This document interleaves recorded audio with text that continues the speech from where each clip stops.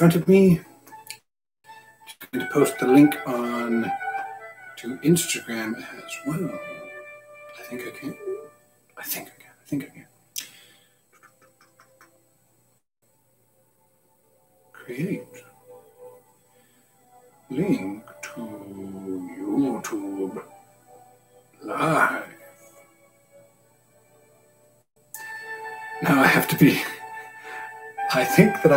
To. Um,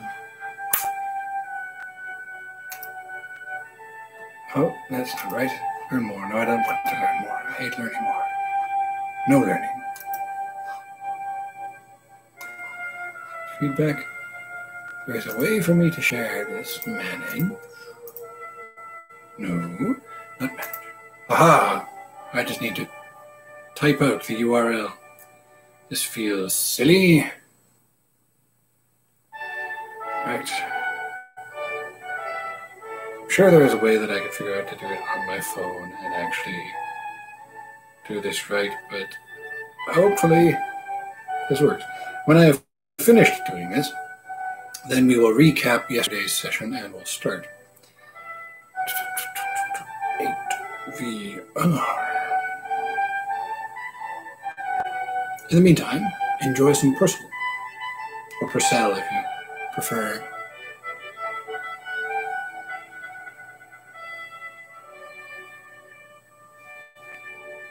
All right.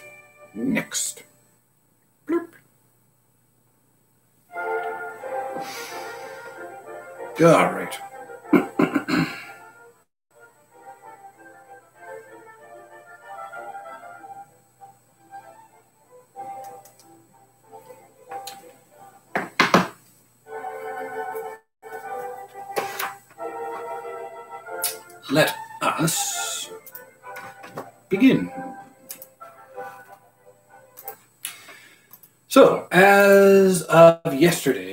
Where had we got to? Oh, right. so, yesterday, Bertie goes and beards good old Pop Bassett in his den, as it were, with the threat of marrying his niece, Stephanie Byng, otherwise known as Stiffy. Upon hearing this, uh, Sir Watkin Bassett is perturbed in his soul and uh, goes on to be delighted when he when Stephanie comes and tells him that no, indeed, Bertie is not the man, but that she loves Harold Pinker, the curate, and he's okay with that after a bit of brisk threatening with Bertie because he really, really doesn't like Bertie at all. And then let's see, Bertie goes off, and Madeline Bassett wants to see him and decides that she will make him happy. So he explains the whole thing. Is that this one? What is one? Might have been two nights ago. Anyways, she's she's feeling. Oh no, no, that's right. It was off because the wedding was off because Sir Watkin Bassett had read the book. Righto. Okay, uh, I had read the book, so there was the cow creamer incident last time. So forget all the rest of that. Uh, Madeline and Gussie are reconciled to one another, I think, but Pop Bassett is angry at Gussie because he has been reading the notebook that Gussie foolishly gave him to make a final point because he was ticked off that he had, had, had disposed of his newts. So, at this moment, they have managed to send the cow creamer off with one of Bertie's suitcases and Gussie out through the window, down the knotted sheet, um, dropping the suitcase on Gussie's head, cow creamer inside, and sent him off to London in Bertie's car. So we'll see if that works. Gussie seems to have figured out how to foul up most things, but we'll see how that turns out. And Jeeves has just discovered a policeman's helmet in the other suitcase. Chapter 13 I had been right about the strengthening effect on the character of the vicissitudes to which I had been subjected since clocking in at the country residence of Sir Watkin Bassett. Little by little, bit by bit, they had been moulding me, turning me from a sensitive clubman and boulevardier to a man of chilled steel. A novice to conditions in this pest house, abruptly handed the news item which I had just been handed, would, I imagine, have rolled up the eyeballs and swooned where he, where he sat. But I, toughened and fortified by the routine of one damn thing after another, which constituted life at Totley Towers, was enabled to keep my head and face the issue. I don't say I didn't leave my chair like a jackrabbit that has sat on a cactus, but having risen, I wasted no time in fruitless twittering. I went to the door and locked it.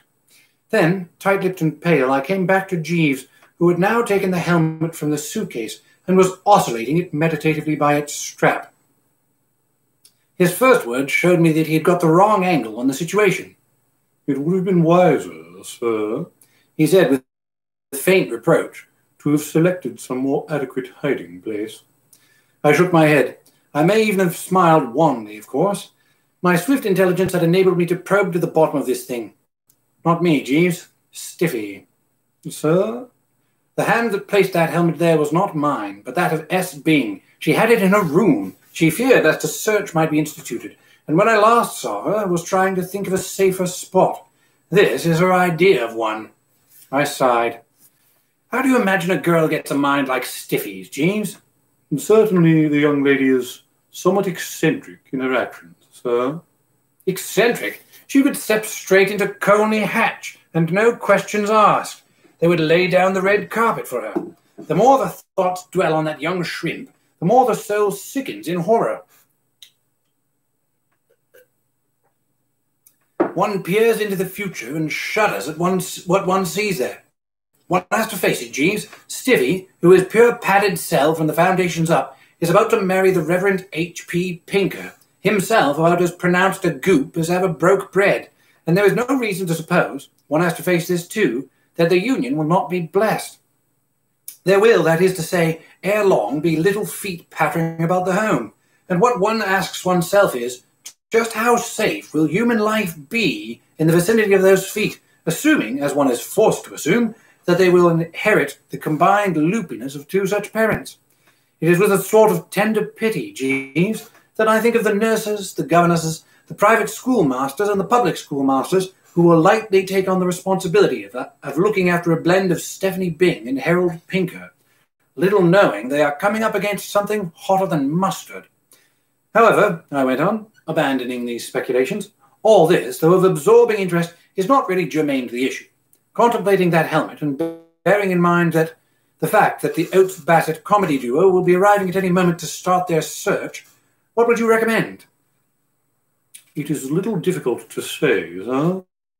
A really effective hiding place for so bulky an object does not readily present itself. No, the damn thing, thing seems to fill the room, doesn't it? It unquestionably takes the eye, sir. Yes. The authorities wrought well when they shaped this helmet for Constable Oates. They aimed to finish him off impressively, not to give him something which would balance on top of his head like a peanut. And they succeeded. You couldn't hide a lid like this in an impenetrable jungle. Ah, well, I said, we will just have to see what tact and suavity will do. I wonder when these birds are going to arrive. I suppose we may expect them very shortly. Ah, that would be the hand of doom now, if I mistake not, Jeeves. But in assuming that the knocker who had just knocked on the door was Sir Watkin Bassett, I had erred. It was Stiffy's voice that spoke. Bertie, let me in. There was nobody I was more anxious to see, but I did not immediately fling wide the gates. Prudence dictated a preliminary inquiry. Have you got that bally dog of yours with you? No, he's being aired by the butler. In that case, you may enter. When she did so, it was to find Bertram confronting her with folded arms and a hard look. She appeared, however, not to notice my forbidding exterior. Bertie, darling. She broke off, checked by a fairly animal snarl from the Wooster lips. Not so much of the Bertie, darling. I have just one thing to say to you, young stiffy, and it is this. Was it you who put that helmet in my suitcase? Of course it was. That's what I was coming to talk to you about. Remember I was trying to think of a good place. I racked the brain quite a bit, and then suddenly I got it. And now I've got it. The acidity of my tone seemed to surprise her. She regarded me with girlish wonder, the wide-eyed kind. But you don't mind, do you, Bertie, darling? Ha! But why? I thought you would be so glad to help me out. Oh, yes, I said, and I meant it to sting. I couldn't risk having Uncle Watkin find it in my room. You prefer, prefer to have him find it in mine? But how can he? He can't come searching your room. He can't, eh? Of course not. You're his guest. And you suppose that will cause him to hold his hand? I smiled one of those bitter, sardonic smiles. I think you are attributing to the old poison germ a niceness of feeling and a respect for the laws of hospitality which nothing in his record suggests that he possesses. You can take it from me that he definitely is going to search the room, and I imagine that the only reason he hasn't arrived already is that he is still scouring the house for Gussie. Gussie? He is at the moment chasing Gussie with a hunting crop, but a man cannot go on doing that indefinitely. Sooner or later he will give it up, and then we shall have him here, complete with magnifying glass and bloodhounds. The gravity of the situation had, la- had last impressed itself upon her. She uttered a squeak of dismay, and her eyes became a bit soup-platey. Oh, Bertie, then I'm afraid I've put you in rather a spot. That covers the facts like a dust sheet. I'm sorry now I ever asked Harold to pinch the thing. It was a mistake, I admit it. Still, after all, even if Uncle Watkin does come here and find it, doesn't matter much, does it? Did you hear that, Jeeves? Yes, uh... So did I. I see. It doesn't matter, you feel? Well, what I mean is your reputation won't really suffer much, will it? Everybody knows that you can't keep your hands off policemen's helmets. This will be just another one. Ha! And what leads you to suppose, young stiffy, that when the Assyrian comes down like a wolf on the fold, I shall meekly assume the guilt and not blazon the truth? What, Jeeves? Forth to the world, sir. Thank you, Jeeves. What makes you suppose that I shall merely assume the guilt and not blazon the truth forth to the world? I wouldn't have supposed that her eyes could have widened any more, but they did perceptibly. Another dismayed squeak escaped her. Indeed, such was its volume that it might perhaps be better to call it a squeal. But Bertie! Well, Bertie, listen. I'm listening. Surely you will take the rap. You can't let Harold get it in the neck. You were telling me this afternoon that he would be unfrocked. I won't have him unfrocked. Where is he going to get if they unfrock him? That sort of thing gives a curate a frightful black eye. Why can't you say you did it? All it would mean is that you would be kicked out of the house, and I don't suppose you're so anxious to stay on, are you? Possibly you are not aware that your bally uncle is proposing to send the per perpetrator of this outrage to Chokey. Oh no, at the worst, just a fine. Nothing of the kind. He specifically told me Chokey. He didn't mean it. I expect there was... No, there was not a twinkle in his eye. Then that settles it. I can't have my precious angel Harold doing a stretch. How about your precious angel Bertram? But Harold's sensitive. So am I sensitive. Not half so sensitive as Harold. Bertie, surely you aren't going to be difficult about this. You're much too good a sport. Didn't you tell me once that the code of the Woosters was never let a pal down? She had found the talking point. People who appeal to the code of the Woosters rarely fail to touch a chord in Bertram. My iron front began to crumble. That's all very fine. Bertie, darling. Yes, I know, but dash it all. Bertie. Oh, well. You will take the rap? I suppose so.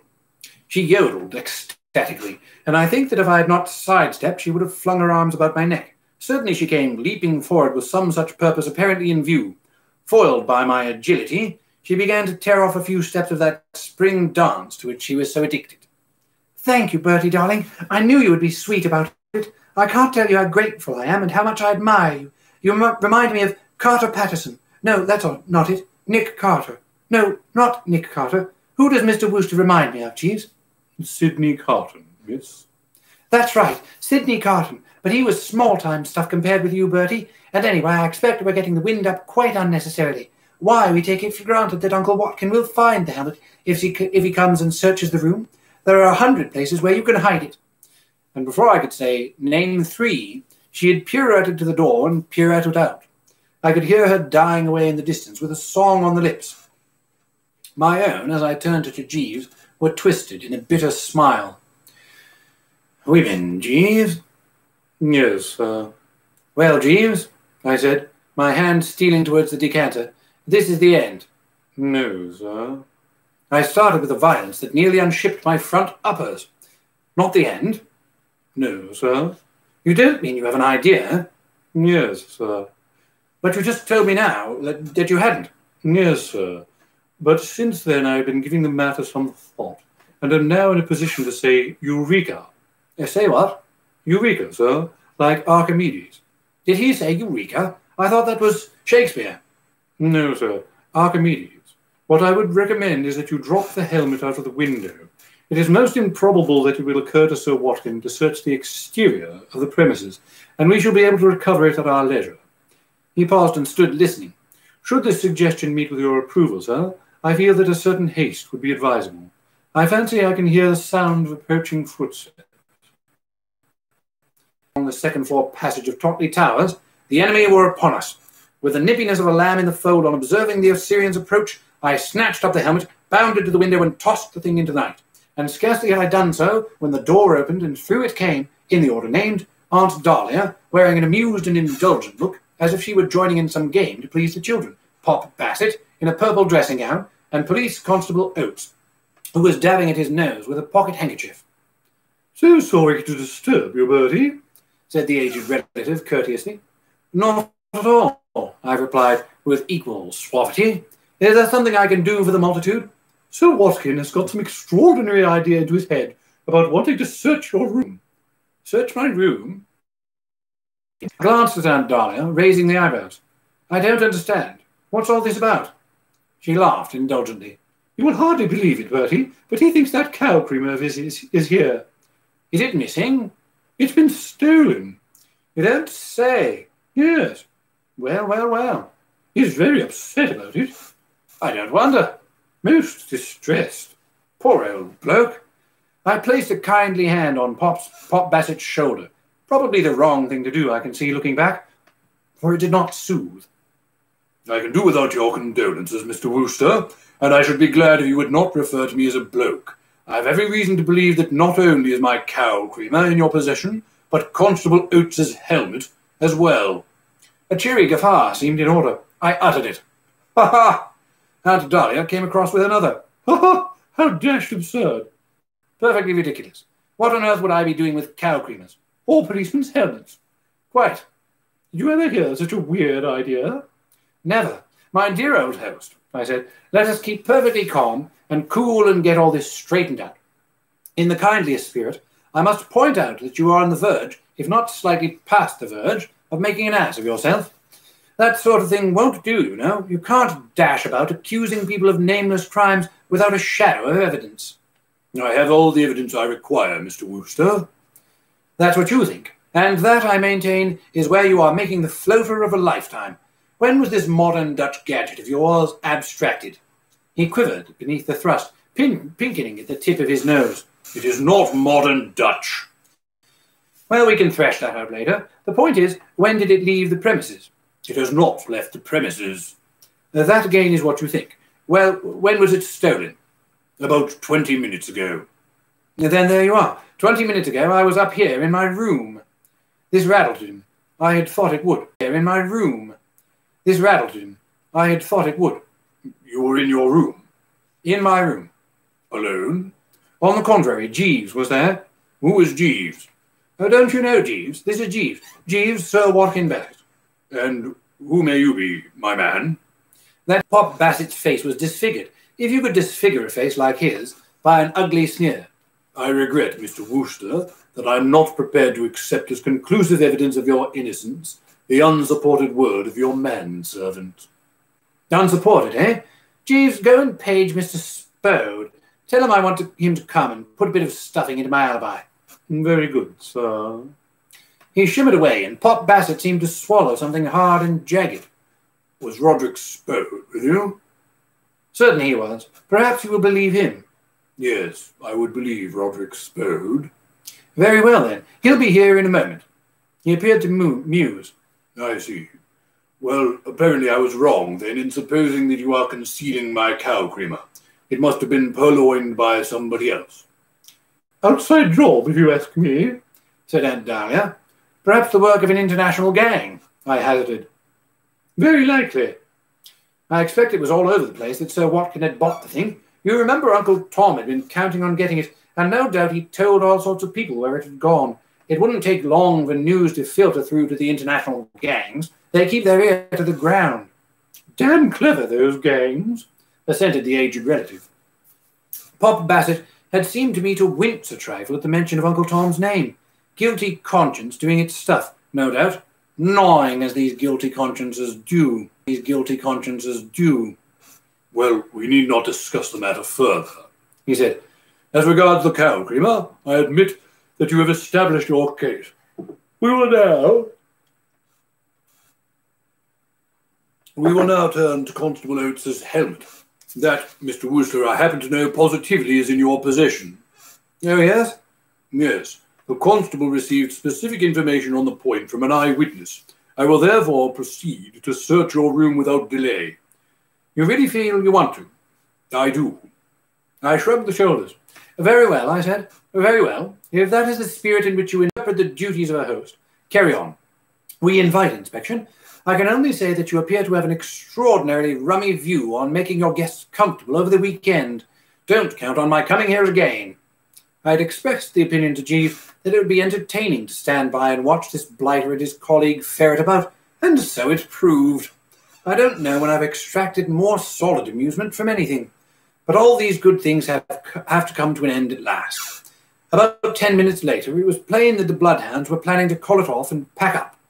To say that Pop Bassett was wry as he desisted from his efforts and turned to me would be to understate it. I appear to owe you an apology, Mr. Wooster, he said. Sir W. Bassett, I rejoined, you never spoke a truer word. And folding my arms and drawing myself up to my full height, I let him have it. The exact words of my harangue have, I am sorry to say, escaped my memory. It is a pity that there was nobody taking them down in shorthand, for I am not exaggerating when I say that I surpassed myself. Once or twice, when, it, when a bit lit at routs and revels, I have spoken with an eloquence which, rightly or wrongly, has won the plaudits of the Drones Club, but I don't think that I have ever quite reached the level to which I now soared. You could see the stuffing trickling out of old Bassett in great heaping handfuls.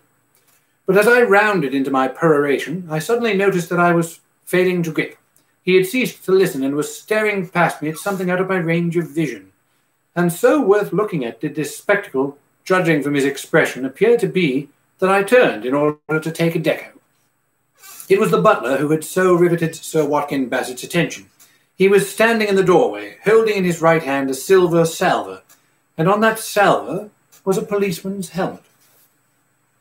Chapter 14 I remember old Stinker Pinker, who towards the end of his career at Oxford used to go in for social service in London's tougher districts, describing to me once in some detail the sensations he had experienced one afternoon while spreading the light in Bethnal Green on being unexpectedly kicked in the stomach by a costermonger.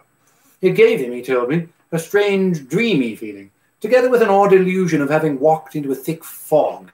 And the reason I mention it is that my own emotions at this moment were extraordinarily similar.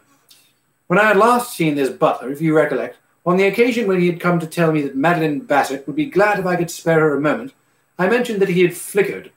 It was not so much at a flickering butler that I was gazing now as at a sort of heaving mist with a vague suggestion of something butlerine vibrating inside it. Then the scales fell from my eyes, and I was enabled to note the reactions of the rest of the company. They were all taking it extremely big, Pop Bassett, like the chap in the poem which I had had to write out fifty times at school for introducing a white mouse into the English literature hour, was plainly feeling like some watcher of the skies when a new planet swims into his ken, while Aunt Dahlia and Constable Oates resembled respectively stout Cortez staring at the Pacific, and all his men looking at each other with a wild surmise, silent upon a peak in Darien. It was a goodish while before anybody stirred. Then, with a choking cry like that of a mother spotting her long lost child in the offing, Constable Oates swooped forward and grabbed the lid, clasping it to his bosom with visible ecstasy. The movement seemed to break the spell. Old Bassett came to life as if someone had pressed a button. Where, where did you get that, Butterfield? I found it in a flower bed, Sir Watkin. In a flower bed? House. I observed Mr. Wooster drop something from his window. It fell into the flower bed beneath, and upon inspection proved to be this helmet. Old Bassett drew in a deep breath. Thank you, Butterfield. The butler breezed off, and old B, revolving on his axis, faced me with gleaming pince nez. So, he said, there is never very much you can do in the way of a telling comeback when a fellow says, so, to you. I preserved a judicious silence. It's a mistake, said Aunt Dahlia, taking the floor with an intrepidity which became her well. Probably came from one of the other windows. Easy to make a mistake on a dark night. Pshaw! Or it may be that the man was lying. Yes, that seems a plausible explanation. I think I see it all. This Butterfield of yours is a guilty man. He stole the helmet, and knowing that the hunt was up and detection imminent, decided to play a bold game and try to shove it off on Bertie. Eh, Bertie? I shouldn't wonder, Aunt Dahlia. I shouldn't wonder at all. Yes, that is what must have happened. It becomes clearer every moment. You can't trust these saintly looking butlers an inch. Not an inch. I remember thinking the fellow had a furtive eye. Me too. You noticed it yourself, did you? Right away. He reminds me of Murgatroyd. Do you remember Murgatroyd at Brinkley, Bertie? The fellow before Pomeroy, stoutish cove. That's right, with a face like a more than usually respectable archbishop. Took us all in that face. We trusted him implicitly. And what was the result? Fellow pinched a finch slice, fellow pinched a fish slice, put it up the snout, up the spout, and squandered the proceeds at the dog races. This Butterfield is another Murgatroyd. Some relation, perhaps. I shouldn't be surprised. Well, now that that's all satisfactorily settled, settled and Bertie dismissed without a stain on his character, how about all going to bed? It's getting late, and if I don't have my eight hours, I'm a rag. She'd injected into the proceedings such a pleasant atmosphere of all pals together and hearty, let's say no more about it, that it came as a shock to find that old Bassett was failing to see eye to eye. He proceeded immediately to strike the jarring note. Well, you're, with your theory that somebody is lying, Mrs. Travers, I'm in complete agreement.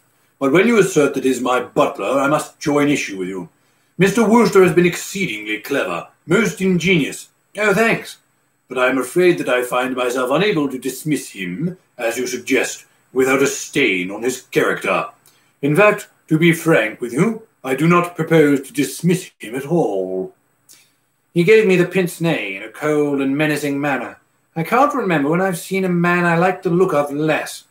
You may possibly recall, Mr. Wooster, that in the course of our conversation in my library, I informed you that I took the very gravest view of this affair. Your suggestion that I might be content with inflicting a fine of five pounds, as was the case when you appeared before me at Bosher, a person of Constable Oates would, when apprehended, serve a prison sentence. I see no reason to revise that decision. This statement had a mixed press. Eustace Oates obviously approved. He looked up from the helmet with a quick, encouraging smile, and but for the iron restraint of discipline, would, I think, have said, Hear, hear. Aunt Dahlia and I, on the other hand, didn't like it. Here, come, I say now, Sir Watkin, really dash it, he expostulated, always on her toes when the interests of the clan were threatened. You can't do that sort of a thing. Madam, I can, I both can and will. He twiddled a hand in the direction of Eustace Oates. Constable. He didn't add, arrest this man or do your duty, but the officer got the gist. He clumped forward zealously. I was rather expecting him to lay a hand on my shoulder or to produce the gyves and apply them to my wrists, but he didn't.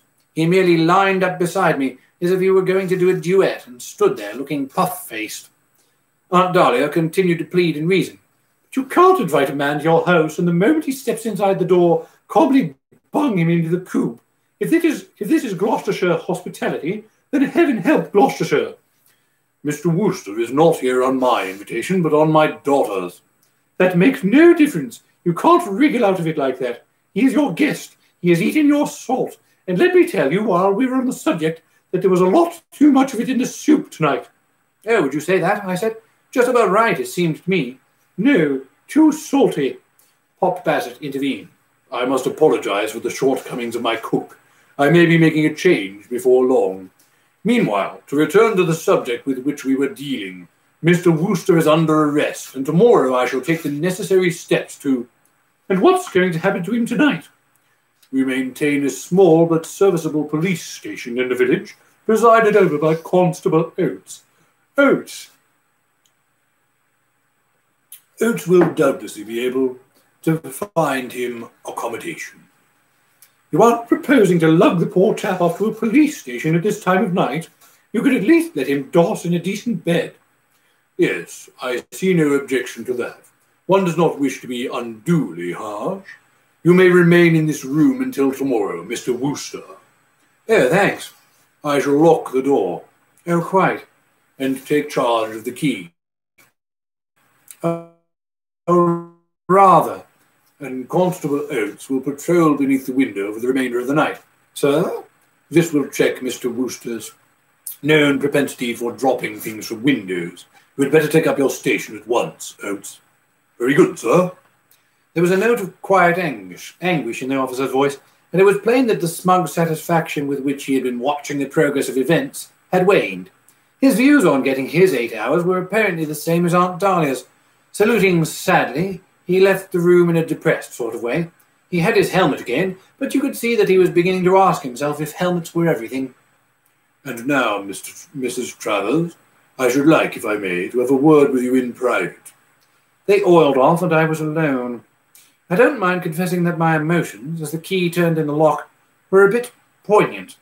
On the other, on the one hand, it was nice to feel that I had got my bedroom to myself for a few minutes, but against that you had to put the fact that I was in what is known as durance vile, and not likely to get out of it. Of course, this was not new stuff for me, for I had heard the bars clang outside my cell door that time at Bosher Street. But on that occasion I had been able to buoy myself up with the reflection, reflection that the worst the aftermath was likely to provide was a rebuke from the bench, or, as subsequently proved to be the case, a punch in the pocketbook. I was not faced, as I was faced now, by the prospect of waking on the morrow to begin serving a sentence of thirty days' duration in a prison, where it was most improbable that I should be able to get my morning cup of tea. Nor did the consciousness that I was innocent seem to help much. I drew no consolation from the fact that Stiffy Byng thought me like Sydney Carton. I had never met the chap, but I gathered that he was somebody who had taken it on the chin to oblige a girl. And to my mind, this was enough to stamp him as a priceless ass. Sydney Carton and Bertram Sydney Carton and Bertram Wooster, I felt. Nothing to choose between them. Sydney, one of the mugs. Bertram, the same. I went to the window and looked out, recalling the moody distaste which Constable Oates had exhibited at the suggestion that he should stand guard during the night hours. I had a faint hope that once the eye of authority was removed, he might have ducked the assignment and gone to get his beauty sleep. But no, there he was, padding up and down on the lawn, the picture of vigilance, and I had just gone to the wash the wash hand stand to get a cake of soap to bung at him, feeling that this might soothe the bruised spirit a bit, when I heard the door handle rattle. I stepped across and put my lips to the woodwork. Hello? It is I, sir, Jeeves. Oh, hello, Jeeves. The door appears to be locked, sir. And you can take it from me, Jeeves, that appearances do not deceive. Pop Bassett locked it and has trousered the key. Sir? I have been pinched. Indeed, sir. What was that? I respectful tut-tutting. Unfortunate, sir. Most. Well, Jeeves, what is your news? I endeavoured to locate Mr. Of events has taken us far past the point where Spode could have been of service.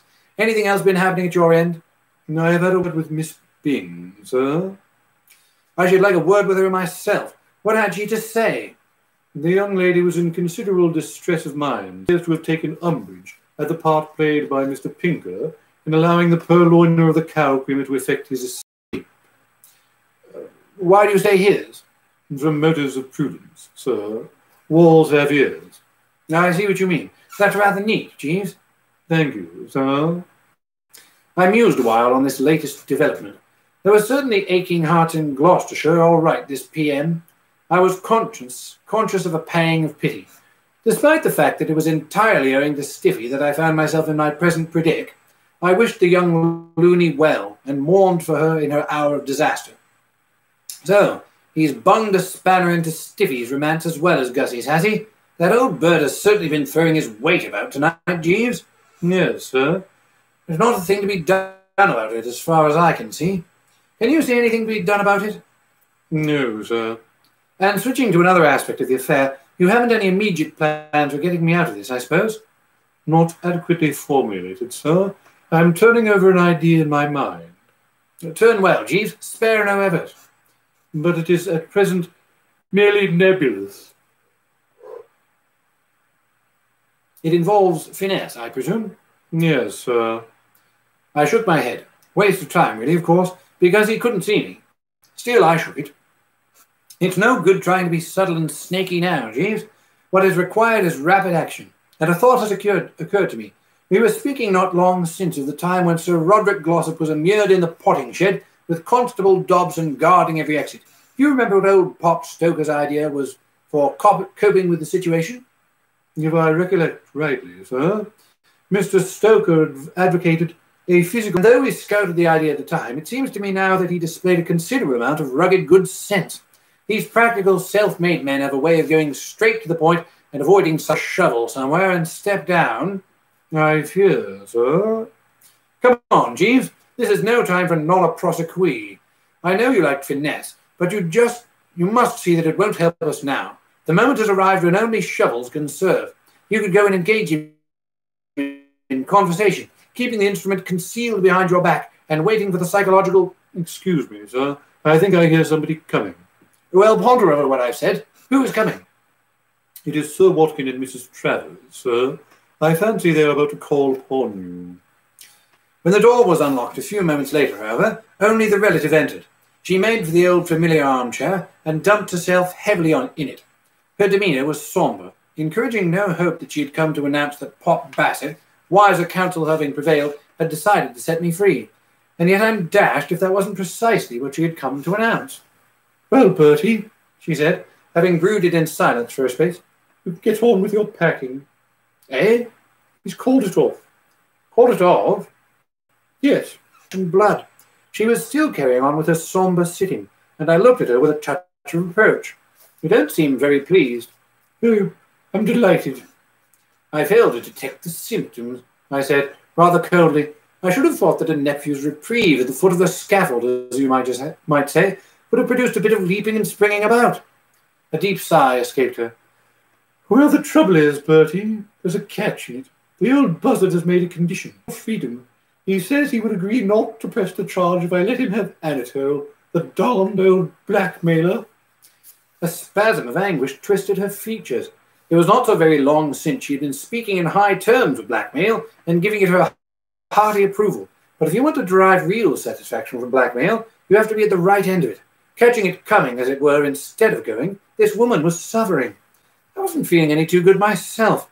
From time to time in the course of this narrative, I've had occasion to indicate my sentiments regarding Anatole, that peerless artist, and you will remember that the relative's account of how, how Sir Watkin Bassett had basically tried to snitch him from her employment during his visit to Brinkley Court had shocked me to my foundations. It is difficult, of course, to convey to those who have not tasted this wizard's products the extraordinary importance which his roasts and boils assume in the scheme of things to those who have. I can only say that having once bitten into one of his dishes, you are left with the feeling that life will be deprived of all its poetry and meaning unless you are in a position to go on digging in. The thought that Aunt Dahlia was prepared to sacrifice this wonder man merely to save a nephew from the cooler was one that struck home and stirred. I don't know when I've been so profoundly moved. It was with a melting eye that I gazed at her. She reminded me of Sydney Carton, who are actually contemplating giving up Anatole for my sake? I gasped. Of course. Of course, jolly well not. I wouldn't hear of such a thing. But you can't go to prison.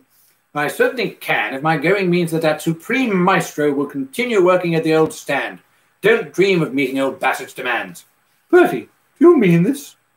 I should say so. What's a mere thirty days in the second division? A bagatelle. I can do it on my head. Let Bassett do his worst. And I said, added in a softer voice. When my time is up and I come out into the world once more a free man, let Anatole do his best. A month of bread and water or skilly or whatever they feed you on in these establishments will give me a rare appetite.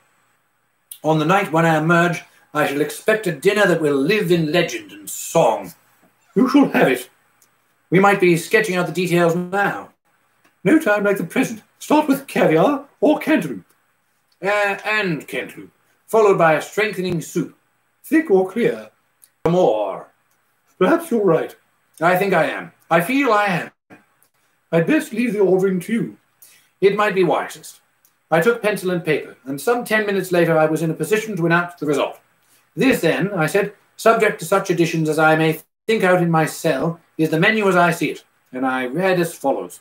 Le dîner, caviar fraise, cantaloupe, consomme à pommes d'amour, sylphides à la crème des écrevisses, mignonette de poulet de petit duc, pommes d'asperges à la mistinguette, suprême de foie gras champagne, neige aux perles des apaises, timbalé de riz de vue tout laissé. Don't seem to have missed out much. Then let's have the man in and defy him. Bassett, I cried. Bassett, shouted Aunt Dahlia. Bassett, I bawled, making the welkin ring. It was still ringing when he popped in, looking annoyed. What the devil are you shouting at me like that for? Ah, there you are, Bassett. I wasted no time in getting down to the agenda. Bassett, we defy you. The man was plainly taken aback. He threw a questioning look at Aunt Dahlia. He seemed to be feeling that Bertram was speaking in riddles. He's alluding, explained the relative, to that idiotic offer of yours to call the thing off if I let you have Anatole. Silliest idea I ever heard. We've been having a good laugh about it, haven't we, Bertie? Roaring our heads off, I assented. He seemed stunned. Do you mean that you refuse? Of course, of course we refuse. I might have known my nephew better than to suppose for an instant that he would consider bringing sorrow and bereavement to an aunt's home in order to save himself unpleasantness. The Woosters are not like that, are they, Bertie? I should say not. They don't put self first. You bet they don't. Ought never to have insulted him by mentioning the offer to him. I apologize, Bertie.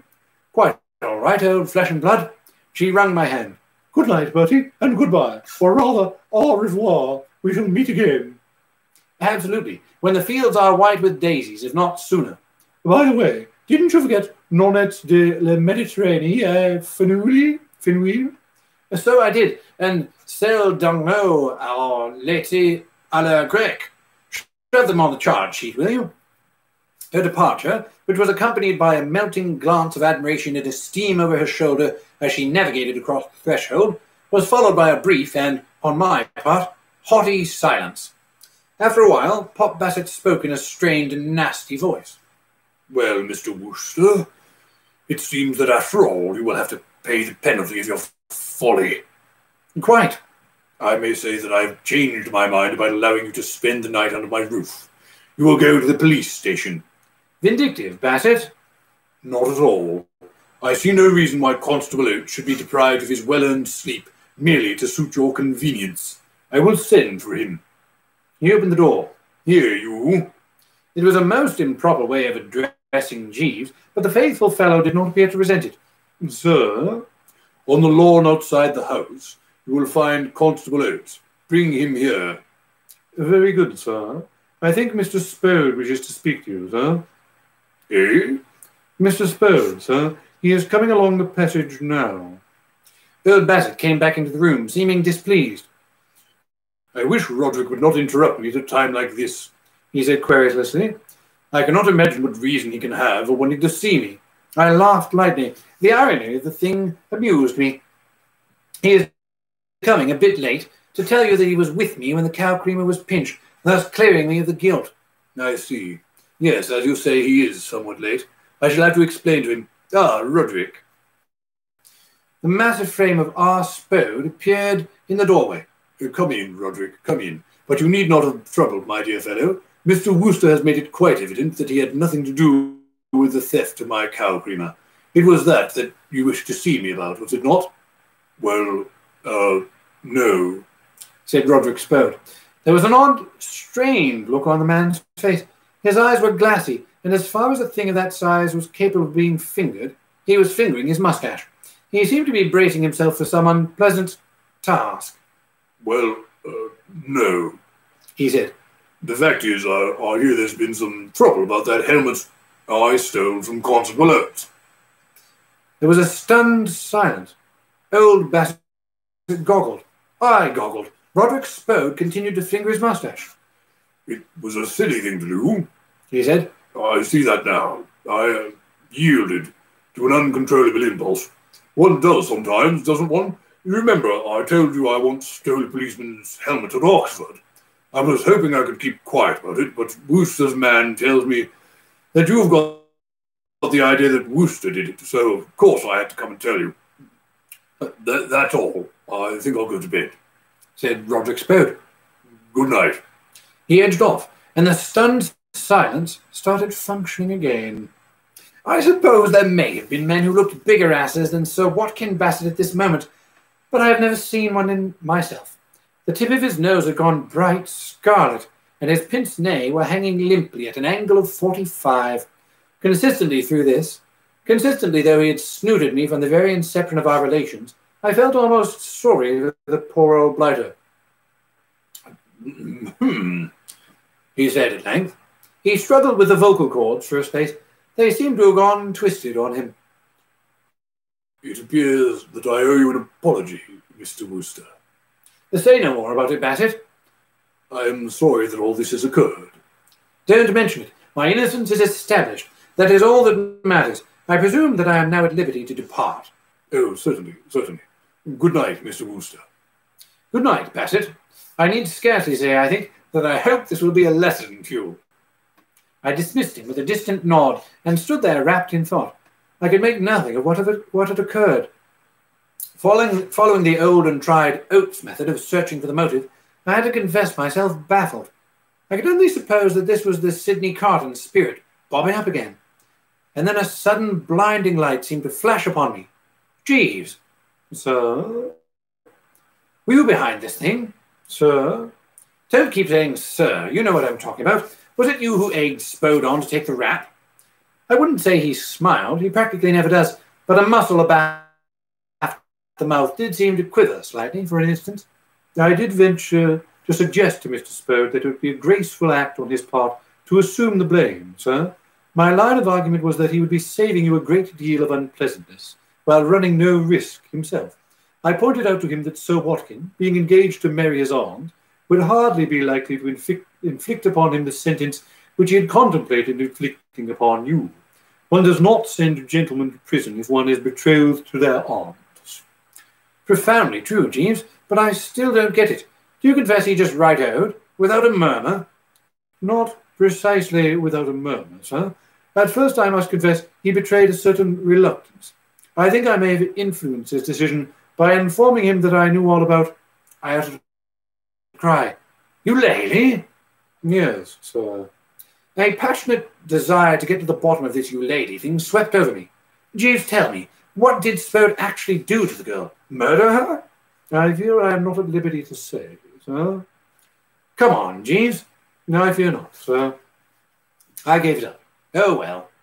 I started shedding the garments. I climbed into the pajamas. I slid into bed. The sheets being inextricably knotted, it would be necessary, I saw, to nestle between the blankets. But I was prepared to rough it for one evening. A rapid surge of, event, of events had left me pensive.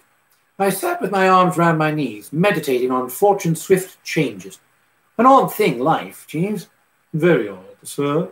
You never know where you are with it, do you? To take a simple instance, I little thought half an hour ago that I would be sitting here in carefree pajamas watching you sir. But now my troubles, as you might say, have vanished like the dew on the... What is it? Thanks to you. I am delighted to have been able to be of service, sir. You have delivered the goods as seldom before, and yet, Jeeves, there was always a snag. sir? I wish you wouldn't keep on, on saying, sir. What I mean is, Jeeves, loving hearts have been sundered in this vicinity, and are still sundered. I may be all right, I am, but Gussie isn't all right, nor is Stiffy all right. That is the fly in the ointment. Yes, sir. Though, pursuant on that, I never could see why flies shouldn't be in ointment. What harm do they do? I wonder, sir. Yes, Jeeves. I was merely about to inquire if it is your intention to bring an action against Sir Watkin for wrongful arrest and defamation of your character before witnesses. I hadn't thought of that. You think an action would lie? There can be no question about it, sir.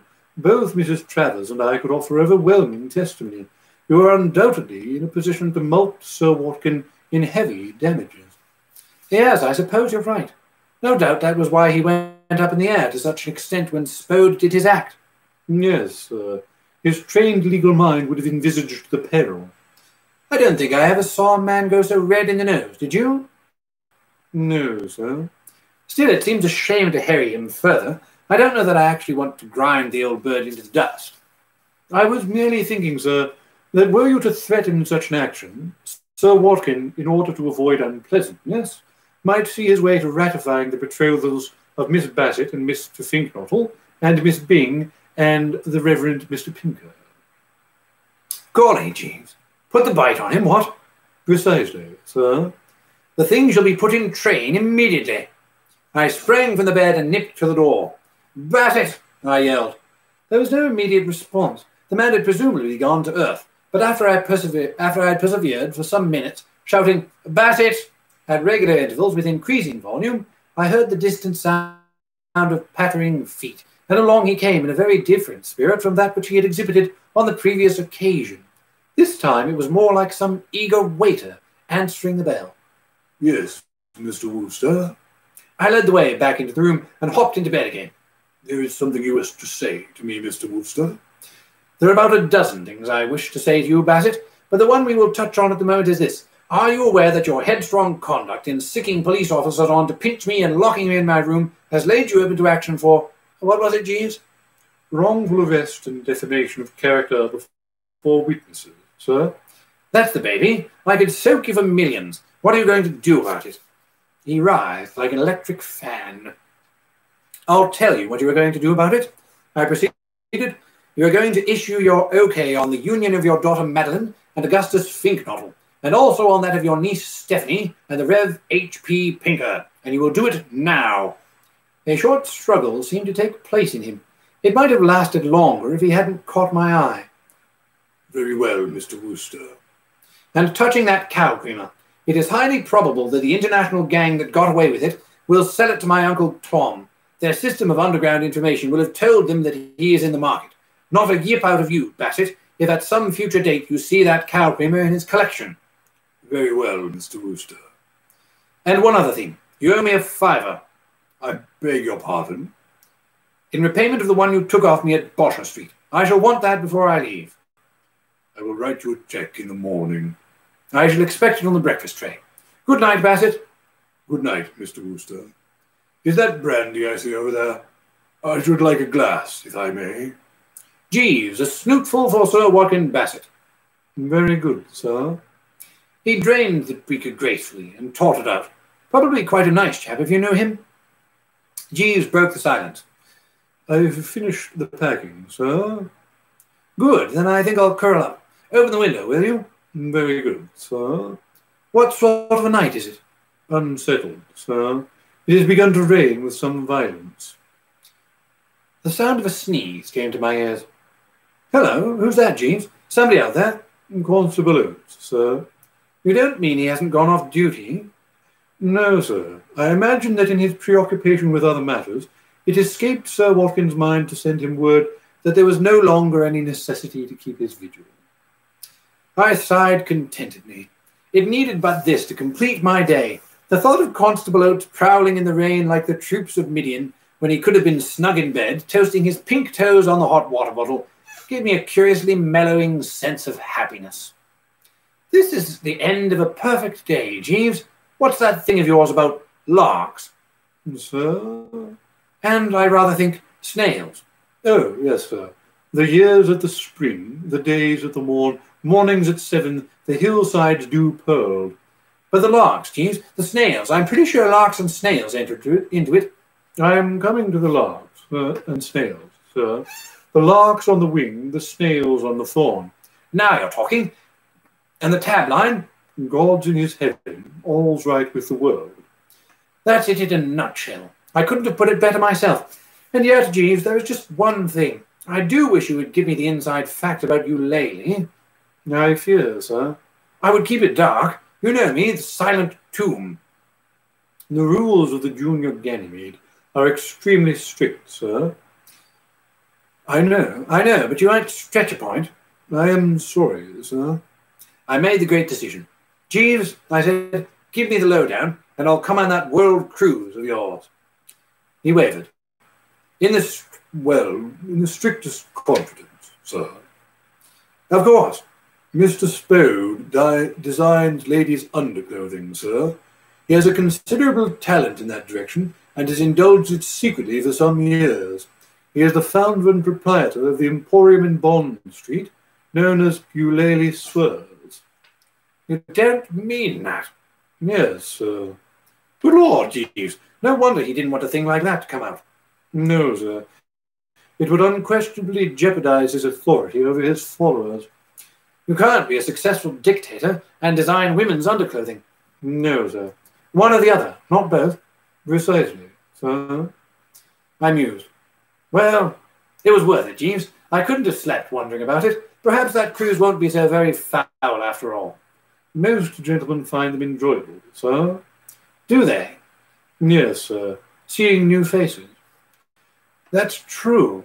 I hadn't thought of that. The faces will be new, won't they? Thousands and thousands of people, but no stiffy.